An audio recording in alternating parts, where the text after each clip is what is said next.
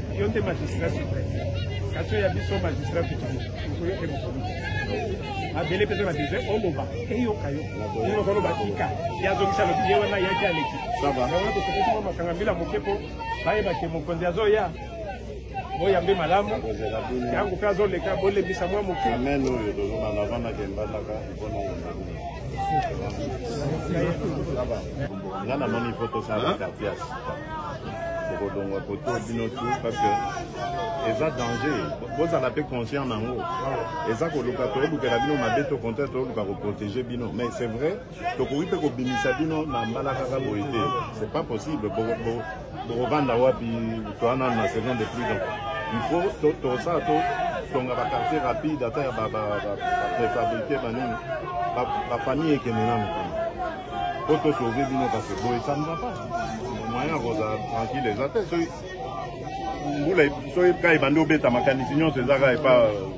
tokomi kokanisa kaka me lobi bakopesa biso sango nini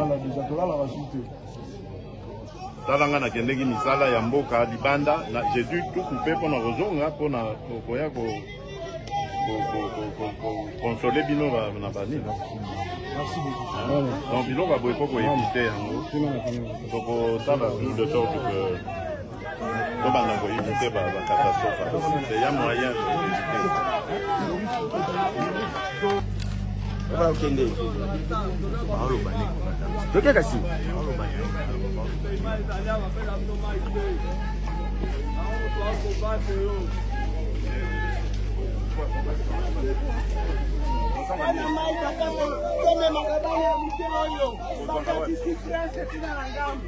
bazokutila biso bana na mituka regi dezo yango oyo siyo yango esi eleki awa me balinga kopesa biso mai papa papa atikeli yo dimi fois banda kosomba mai banda komelisa moto ya mai okolambela bana nini papa salela biso mpenza makasi papa na biso tala ngai yo nalati yo mokonzi na ngai papa e pati betola biso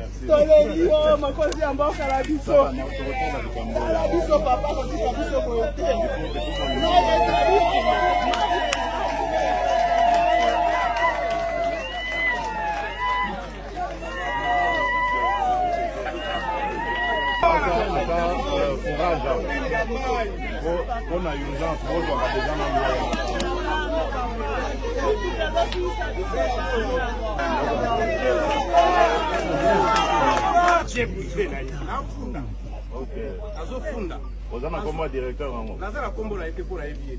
me azali mai eyaka yango ewuti na se kuna eye ti awa bazoboya kopesa biso mai meme ya sanfila wa mai ezalaka te biso nio tokoma kovivre na mabulu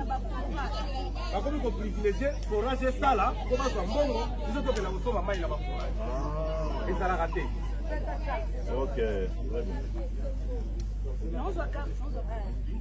mais sikoyo bango balobi wapi papa wana bango balobi ke soki bateli bino batuyo oyo ekomisaka mai ti na bandako ekoprovoke baérosion olobi nini nani